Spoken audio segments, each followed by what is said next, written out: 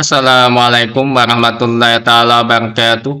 Bismillahirrahmanirrahim. Alhamdulillah jumpa lagi dan kami sudah Mawang. Pada kesempatan kali ini video yang kami sampaikan tentang tutorial singkat cara menambahkan pengedup vendor di DigiPay 1 Command Queue. Langsung saja coba kita praktikkan caranya. Jadi teman-teman vendor, langkah pertama login ke DigiPay-nya satu Command Queue setelah itu masuk sebagai kewenangan vendor. Coba kita langsung praktikkan login teman-teman. Di sini kami sudah login ke DigiPay satu Common Queue dengan hak akses atau kewenangan sebagai vendor. Bagi teman-teman yang masih kewenangannya yang lain, cara mengubah sebagai vendor caranya klik pengopel pengguna, pilih ubah kewenangan, tinggal diklik bagian aksi centang ini, ubah kewenangan di bagian vendornya, klik OK. Maka statusnya di sini akan berubah menjadi vendor. Untuk memasukkan pengodok atau menambahkan pengodok, caranya sangat mudah teman-teman. Pilih vendor, pilih daftar pengodok. Silahkan diklik tambah. Klik tambah. Isi data yang ada teman-teman. Diisi data yang ada ini Nama vendor sudah otomatis muncul pilihannya autocomplete biasanya.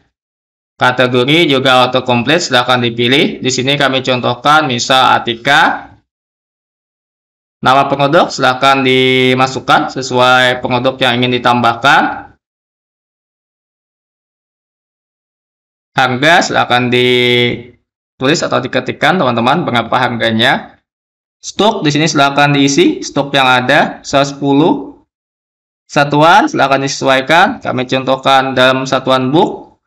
Pengodok dalam negeri. Jika pengodok dalam negeri silakan geser, klik iya seperti ini. Posisinya dalam iya jika pengodok dalam negeri. Deskripsi ya silakan disesuaikan deskripsinya. Setelah terisi semua, teman-teman klik simpan. Oke, jadi setelah tersimpan, pengodok yang baru kita rekam atau kita tambahkan tadi statusnya masih draft belum publish teman-teman. Jadi untuk mempublikasikan silahkan diubah kembali pengodok yang baru ditambahkan tadi. Klik aksi, pensel, ubah, data. Di sini kita akan melengkapi label teman-teman. Pilih labelnya, sesuaikan saja dengan pengodoknya. Di sini juga akan ditambahkan gambar pengodok teman-teman. Klik gambar. Kita cari gambarnya teman-teman di sini. Dipilih gambarnya, di open setelah gambarnya tampil, teman-teman, coba klik upload untuk mengupload. Jika ada informasi di bagian kanan, belum semua gambar dilakukan crop. Cara mengcropnya, teman-teman, diklik gambarnya. Coba kita klik gambarnya ini di bagian area gambar. Ini coba lakukan crop, teman-teman. Coba di crop saja, setelah itu klik shift Coba lakukan upload lagi. Ini sudah berhasil melakukan proses upload. Oke, upload file berhasil teman-teman. Jadi jika ada muncul tadi bahwa informasi gambar di, belum di crop, silahkan crop terlebih dahulu, klik gambarnya. Ini tinggal klik publish teman-teman. Geser ke kanan supaya muncul ya.